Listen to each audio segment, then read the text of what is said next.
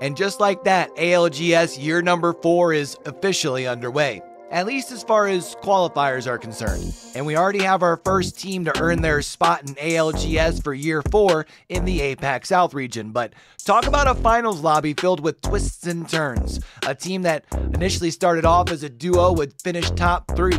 Two wins and a 21 point finish aren't enough to push past top two, as five top fives paved the way for MDYB to secure their spot in the upcoming season of ALGS. But let's get down and do what it do. PLQ number one TLDR APAC South Edition and I didn't get a chance to watch the finals live this weekend since I was on the road for the holidays, but I will most definitely be checking out weeks 2, 3, and 4 with some watch parties. So if you're wanting to catch ALGS action live as well as weekly update videos just like this, make sure you're hitting that subscribe button and turning those notifications on.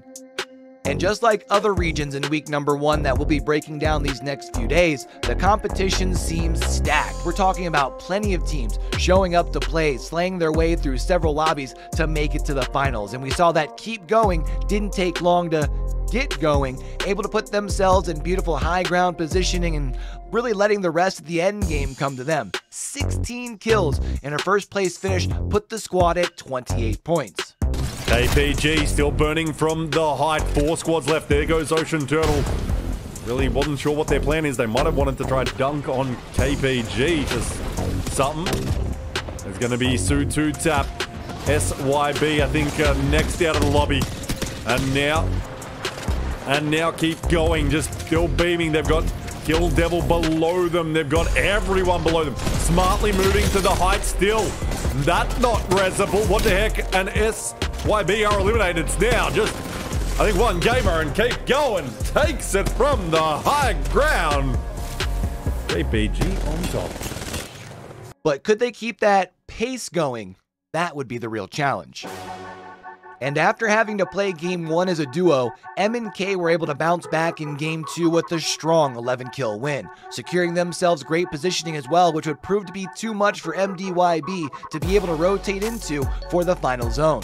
And after wiping the last squad, only needing to hunt down those final solos makes it an easy dub for M and even though they would only have just five points after the first two games, it would be MXF who would start their comeback in game number three. And while they didn't have much to their name as far as KP is concerned when that final circle started closing, they'd be able to pretty well clean up house in the top four situation they played themselves into, giving them not only the dub, but getting them 20 much needed points along the way as well and MXF would actually find themselves an endgame in game number four as well, but it was an absolute mess of a final circle. We're talking about teams on every single level, over at stacks as the final circle was closing in, but inevitably, in a close scrappy end fight, it was MDY, BYD able to pull things off and putting themselves in first place with just two games left.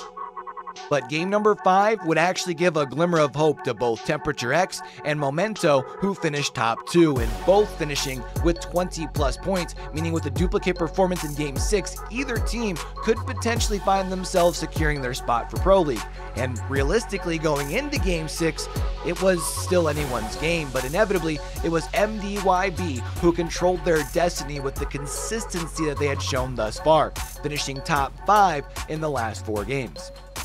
And I don't know what it was about final games on a map, but in the finals, it kicked in that clutch gene for MXF. Trying to come back from almost 20 points down, heading into the final dropship. That ultimate comes in, Horizon ults, Conduit ults, everything comes out now. Oh, the only problem is you got your teammates in the goddamn way. Kill Devil still on elevation. MDY ready, just getting farmed in this end game a little bit. They've used all their ultimates but there is nowhere for them to play with. But suddenly, Lauhan is down. Now beaming to the sky. We're just battling in the air here. Oh, just kick him out into the ring. He's trying to get back. I don't think he can. MXF, take it. But I don't think they've done enough to win the day.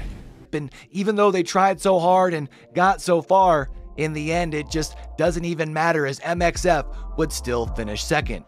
But I have heard that sometimes you have to fall to lose it all because in the end, it just doesn't even matter because the good news is their performance puts them off to a great start when it comes to those preseason points.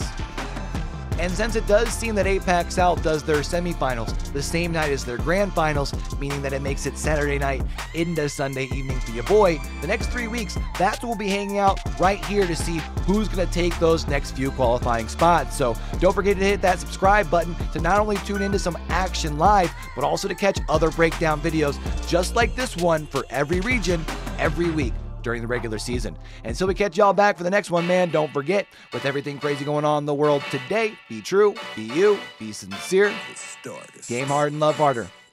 It's your boy Cue, signing out.